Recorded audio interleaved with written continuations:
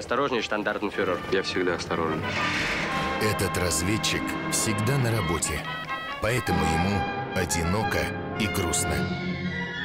Но этим летом у Штирлица будут выходные. Я поздравляю вас с удачей, Штирлиц. Я могу посоветовать. Проведи эти выходные вместе с любимым русским разведчиком. Перспективно. Смотри «17 мгновений весны». 6 серий подряд. В субботу с 14.30 на Перце.